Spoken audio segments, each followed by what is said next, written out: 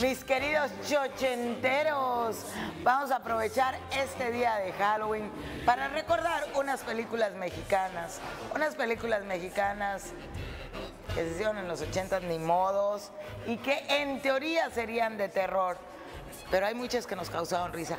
Hay un, de hecho, un actor que no entiendo por qué salió en todas las películas, pero vamos a ver de quién se trata.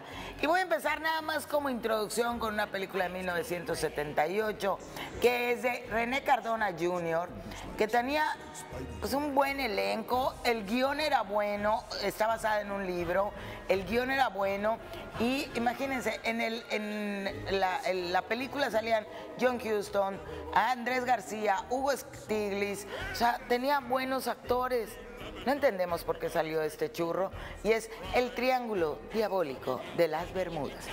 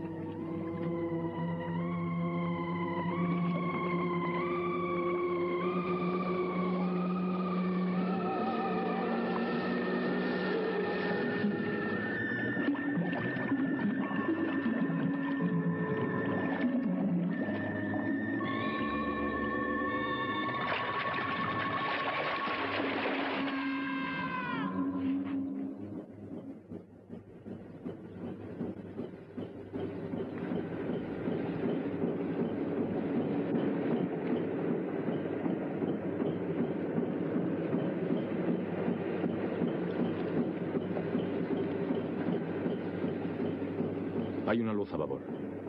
No tiene luces de situación. Puede ser un bote pesquero o una lancha salvavidas.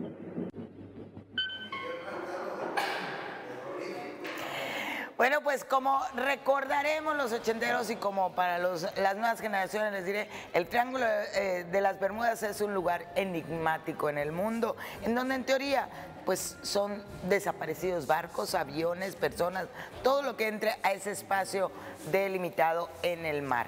Pues eh, acá se trata de unos submarinistas que han buscado un tesoro y bueno, hay una muñeca. Yo, yo Digo, estaba, está peor esta muñeca que Anabel. ¿Por qué nos da más miedo a Anabel? Porque no había efectos especiales. Pero la verdad es que si era un churro en su momento. Ahorita todavía me atrevería a verla porque sí me dio miedo. La que sigue, fíjense, la que sigue es una película basada en una historia que había hecho muy, muy popular Alfred Hitchcock, Hitchcock el maestro del terror en Estados Unidos. Acá este, la hace nuevamente René Cardona. Salen actores, sale Christopher Atkins, ¿se acuerdan del niño de la Laguna Azul? Es él, Christopher Atkins. Sale también Salvador Pineda, no, me no entiendo la comparación. Y bueno, él está basado en la película de Alfred Hitchcock, Los pájaros, solo que acá eran palomas. El ataque de los pájaros 1987.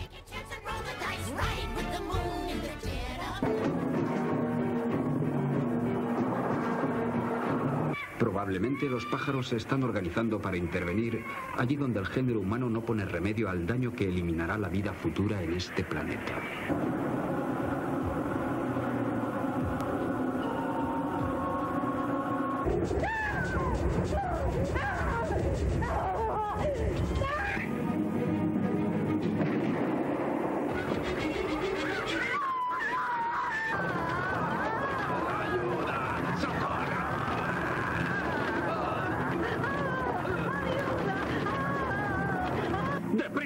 ¡Rápido! ¡Venid aquí enseguida!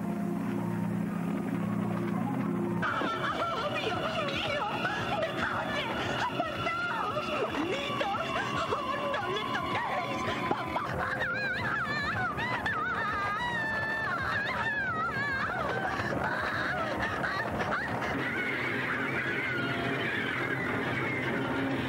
Malditos, nos están siguiendo desde que salimos.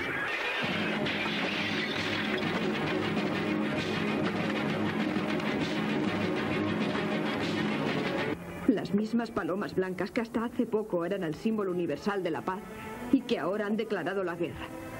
Una guerra inesperada contra el género humano.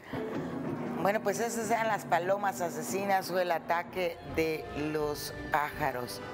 Pues podría ser también buena para pasar el rato. Hay una película en 1989 que yo no vi, yo no vi, no entiendo por qué, me hubiera encantado verla. Y sin embargo, aparece en todas las listas como una, una película que fue grande, pero que no tuvo gran éxito en la crítica. Y estoy hablando de una película que se filmó en 1989, que aunque usted no lo crea, es dirigida, escrita y dirigida por Alejandro Jodorowsky, que además la temática es de esas místicas religiosas extrañas que tiene Jodorowsky. Nada más le cuento una parte de la historia. La historia se basa en eh, la historia de alguien, de Fénix, que se dedica a, al circo, su familia es toda y que tiene una madre que se llama Concha, que fíjense, adora, es la iglesia de una sacerdotisa, en donde adoran como santa a una niña cuyos brazos la arrancaron mientras la violaban. Es de esos tipos Jodorowsky. En la película sale Blanca Guerra, salen Axel Jodorowsky, Adam Jodorowsky, Teo Jodorowsky y vamos a ver de qué se trataba la película. Aquí es el trailer.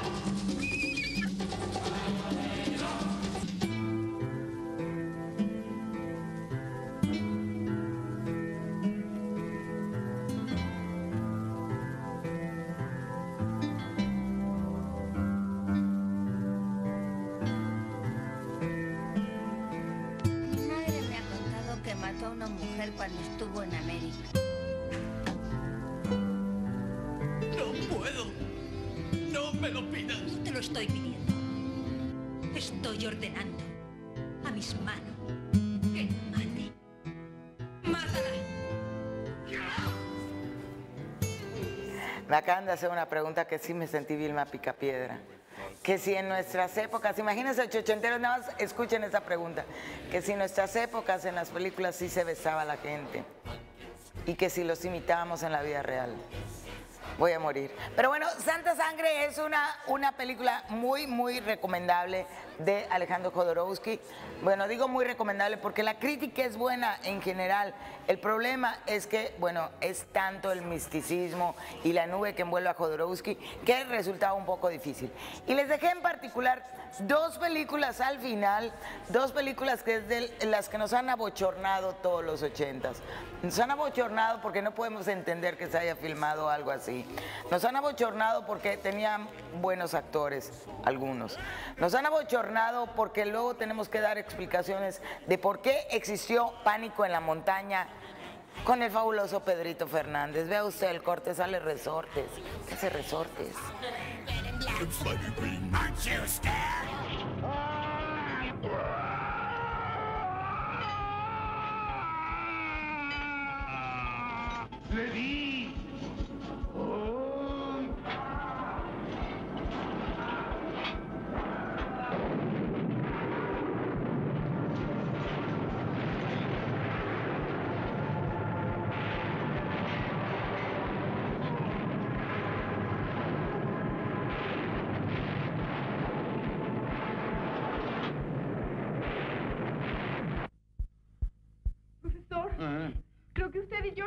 Razón.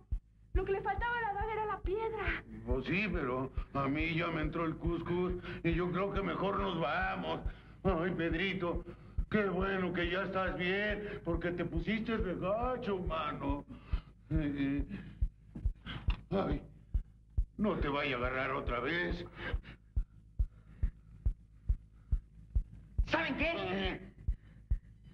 Me hace que ya sé dónde está el oro. No, qué oro ni qué nada. Ya nos vamos. ¿Cómo que ya nos vamos? Sí. ¿Si a eso venimos? No. ¿Cómo que no? Después de la friega que me he llevado, ahora te aguantas. Y tú, y tú. Órale, vámonos, síganme.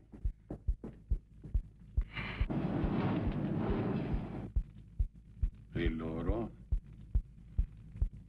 ¿Y tú qué dices, gordo?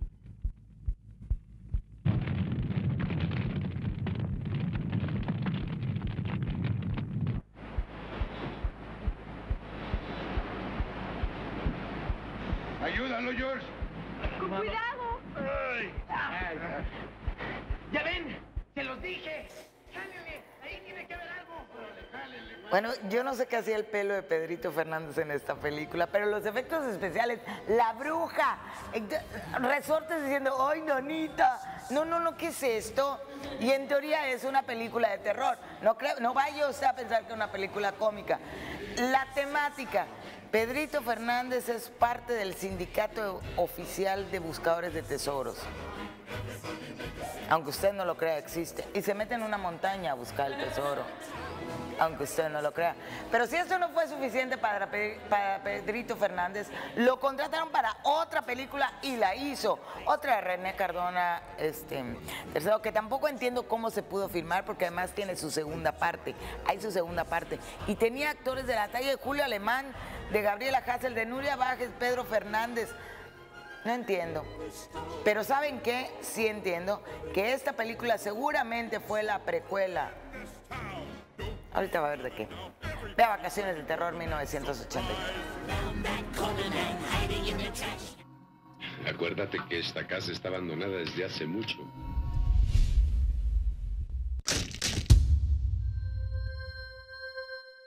Allá abajo hay muchos juguetes.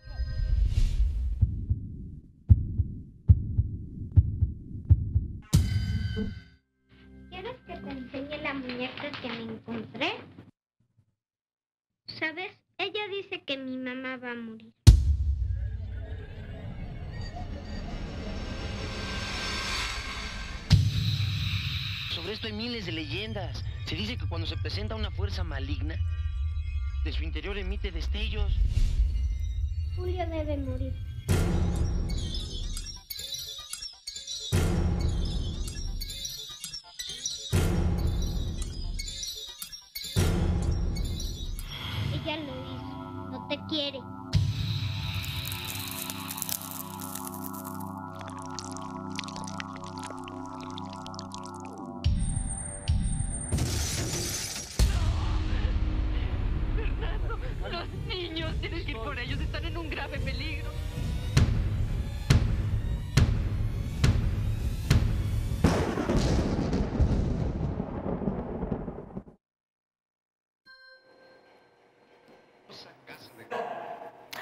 Sí, es la precuela de Conjuro.